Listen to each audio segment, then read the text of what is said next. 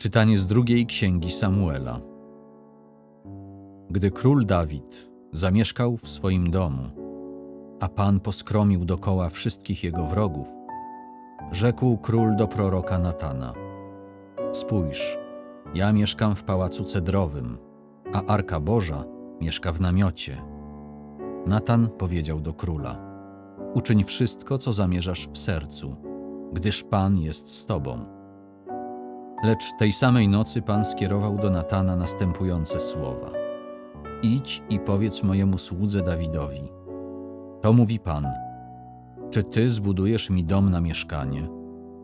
Zabrałem cię z pastwiska, spośród owiec, abyś był władcą nad ludem moim, nad Izraelem. I byłem z tobą wszędzie, dokąd się udałeś. Wytraciłem przed tobą wszystkich twoich nieprzyjaciół. Dam ci sławę największych ludzi na ziemi.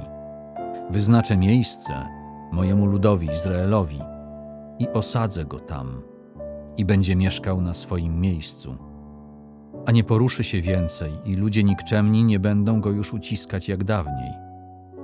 Od czasu, kiedy ustanowiłem sędziów nad ludem moim izraelskim, obdarzyłem cię pokojem ze wszystkimi wrogami.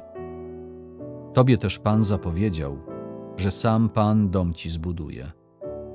Kiedy wypełnią się Twoje dni i spoczniesz obok swych przodków, wtedy wzbudzę po Tobie potomka Twojego, który wyjdzie z Twoich wnętrzności i utwierdzę Jego królestwo. Ja będę mu ojcem, a on będzie mi synem. Przede mną dom Twój i Twoje królestwo będzie trwać na wieki. Twój tron będzie utwierdzony na wieki.